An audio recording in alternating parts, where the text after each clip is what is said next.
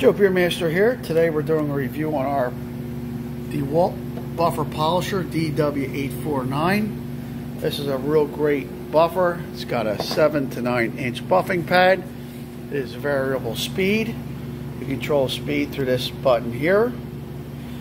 And the speed goes from 600 to 3500 RPM. It's a 12 amp buffer, which gives you plenty of power and it will last a long time. So today we're working on a paint job here. Taking some of the nibs out along the quarter panel and door. And we're going to do a little wet sanding and then we're going to polish it up with some compound and polish and bring it back real nice using the DeWalt buffer. The Dewalt has also come out with orbital polishers so, but this is more used for compound. The polisher would be, you know, something you might want to use on the finishing stages of polishing the paint.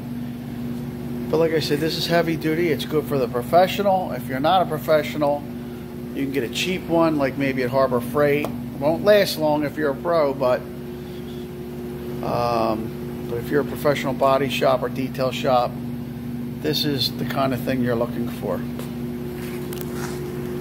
take a look at this. Got a nice handle. It's got the brushes in there. You have to replace once in a great while.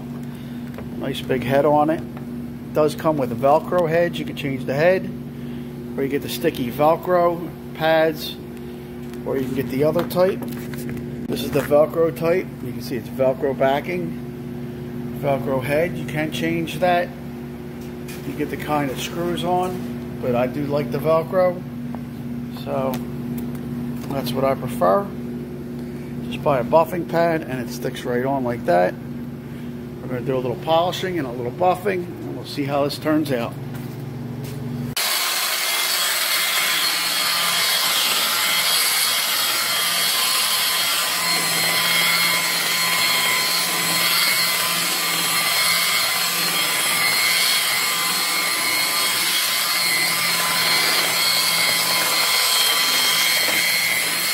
Nice shine. So there it is. The job's complete. The job is nice and shiny. I like the buffer. It's pretty good. Now that buffer is actually five years old.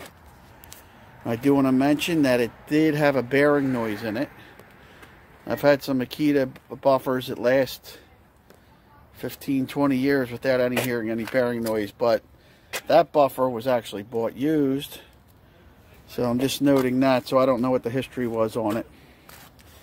And uh, it's getting a little dark, but did a nice job. Now the or orbital ones I've I haven't had experience with, but this one did just a fine job. And uh, I think I'm going to buy another one because I really like it. I like the speed. And I like the weight of it. The weight was a little bit on the heavier side, but that's something I actually liked, believe it or not. Alright, it's Joe Beermaster. Thanks for watching, and please subscribe.